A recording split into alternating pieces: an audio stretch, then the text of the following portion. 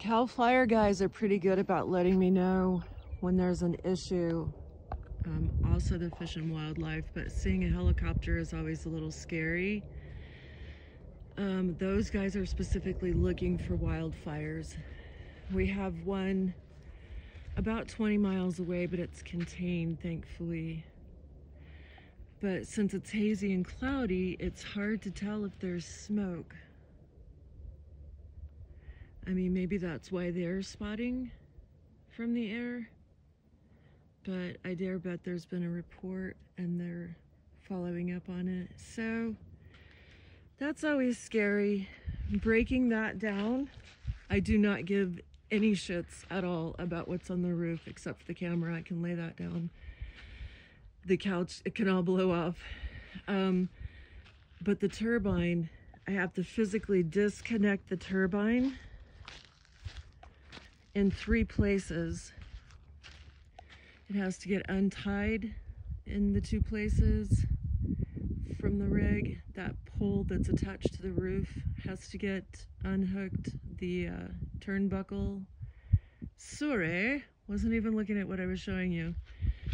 Um, yeah, so three or four places that I have to unhook and disconnect that anchor that is attached to the ground before I can even move the rig. So I'm always on alert when I see the guys flying. Fingers crossed. You know, it is a constant struggle to coexist with nature. And I've always considered myself a misanthrope but I watched a really beautiful video by an indigenous woman the other day who explained how humans have made the planet better.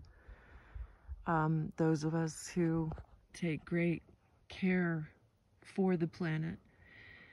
So, that having been said, learning to coexist out here, look at all that water.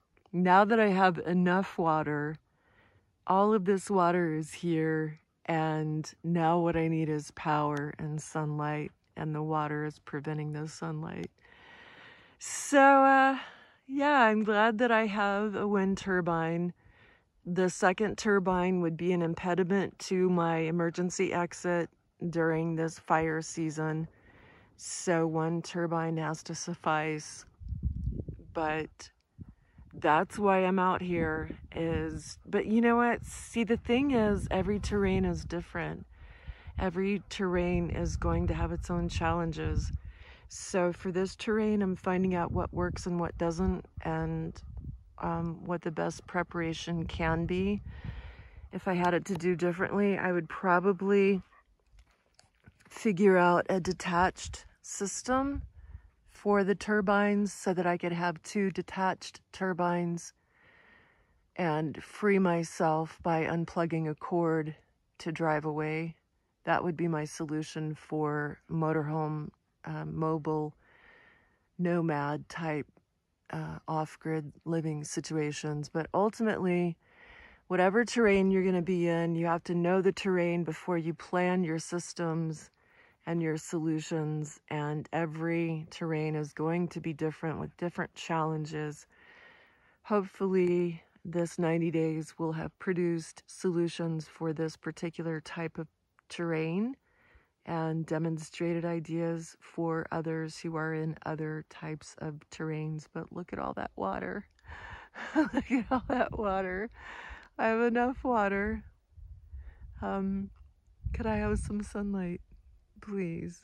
That would be rain. Just to, look how brown the hills are. Usually they're a shade of straw gold. Um, but so, yeah, the trees are happy.